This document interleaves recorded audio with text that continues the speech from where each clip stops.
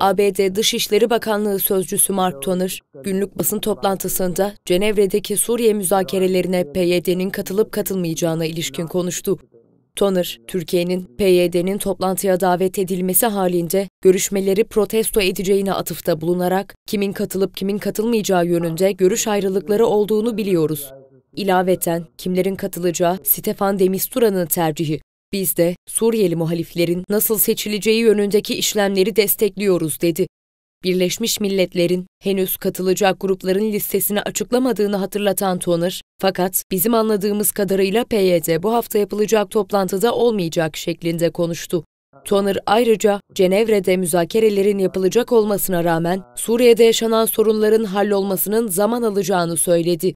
Kimse bir anda 180 derecelik bir dönüş beklemiyor önümüzdeki günlerde ifadesini kullanan Toner, ABD'nin Suriye Devlet Başkanı Beşar Esad'la karşılıklı konuşmadığını fakat Rusya aracılığıyla Esad yönetimine mesajlarını ilettiklerini belirtti. Öte yandan Toner, İsrail Savunma Bakanı Moshe Yalon'un Türkiye, petrolünü alarak finansal olarak IŞİD'i destekledi iddiasına katılmadıklarını söyledi. Bu yönde bir delilin olmadığını belirten Toner, biz bu yönde bir belirti göremedik ifadesini kullandı.